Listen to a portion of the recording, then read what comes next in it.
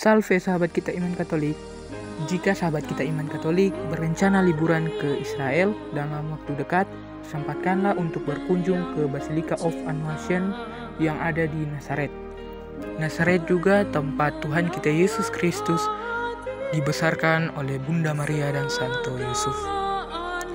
Di gereja yang dibangun sejak tahun 1969 ini, wisatawan bisa menjumpai koleksi patung keramik Bunda Maria Indonesia yang bersanding dengan patung Bunda Maria lainnya dari berbagai negara.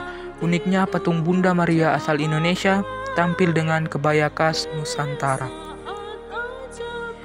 Ada cerita menarik di balik keberadaan patung Bunda Maria berkebaya itu.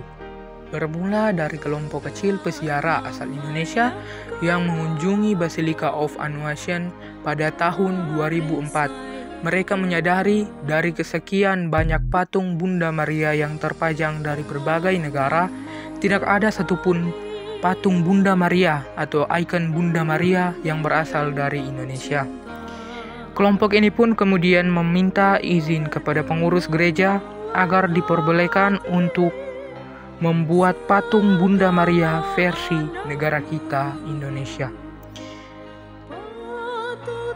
Jo Kamdani, seorang peziarah saat kembali ke tanah air langsung menghubungi seniman keramik Widianto yang juga merupakan sahabatnya untuk membuat patung Bunda Maria yang bercirikan khas Indonesia.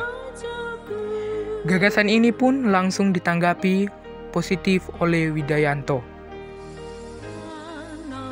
Jo Kamdani menurut informasi yang diterima mengatakan pengerjaan patung ini membutuhkan waktu lebih dari satu tahun, mulai dari sketsa hingga penyelesaian. Dengan rahmat Tuhan Yesus, patung Bunda Maria berkebaya dan berkerudung putih dengan memancarkan wajah damai dan di sekeliling bunga-bunga mawar, akhirnya berdiri di Basilica of Annunciation di Nazaret. Menurut Jo, Indonesia patut berbangga dengan keberadaan patung Bunda Maria asal Indonesia yang bisa bersanding dengan berbagai patung Bunda Maria lainnya dari berbagai negara.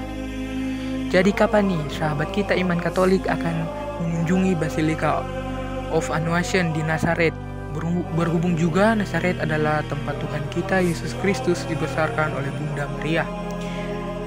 Bunda Maria, doakanlah kami. Salve Dominus Nobiscum.